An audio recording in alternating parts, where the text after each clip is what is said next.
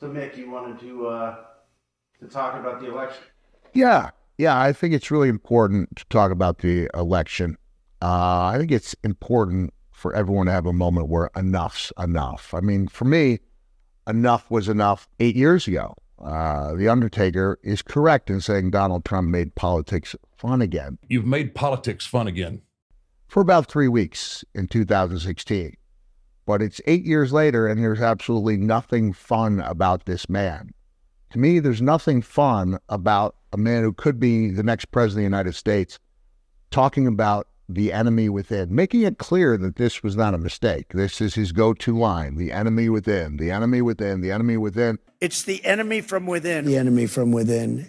I think the bigger problem is the enemy from within, not even the people that have come in. Which he co opted uh, from uh, Senator Joseph McCarthy, one of the worst people to ever grace our planet. What frustrates me the most is that so many good, hardworking American people cannot see through such an obvious con man who, who is only out for himself. The idea that the working man thinks this guy is behind them has obviously not looked into his past. I know people work hard. They don't always have time to go home and do their research. But instead of tuning into your favorite news station of choice, look up the data.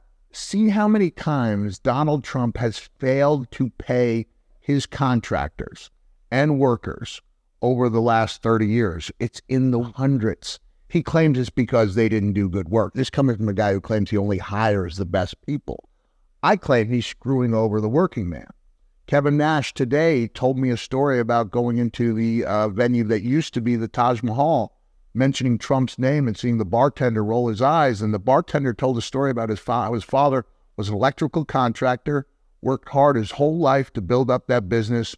And then when Trump did not pay him for the work he did in the Taj Mahal, and the man was unable to fight it because he didn't have the resources to fight it. Trump knows that the people, honest, hardworking contractors, don't have the resources to fight him in court. And he bankrupts them. Their dreams disappear. That's not standing up for the working man. Words are cheap, and he lies almost every time he opens his mouth. But you know what he's not lying about? When he talks about coming after the enemy within. The enemy within. Who is that? It could be anyone. It could be me. An article came out today in NPR, October 22nd, 2024, with a study that showed Donald Trump had issued over 100 threats to people he perceived as his political rivals.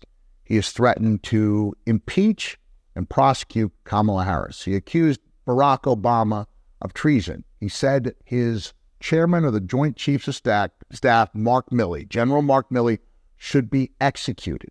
He did nothing to stop what could have been the death of Mike Pence, his own vice president. Chants, hang Mike Pence. There's a hangman's noose outside. And now he's gone so far as to say that anyone who criticizes the Supreme Court and other judges should be put in jail. So, Donald Trump, I'd like to talk directly to you. Are you going to put me in jail for criticizing your Supreme Court? Because I think Clarence Thomas is a disgrace to the Supreme Court.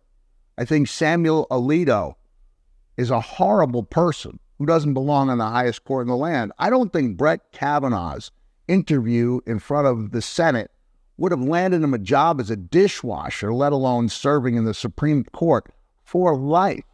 I mean, I'm so scared that I was thinking about calling you a douchebag in this interview. And then I thought, that's a pretty strong word. Trump might come after me. And I made the decision not to call you a douchebag, even though you are one. Vote for Kamala Harris.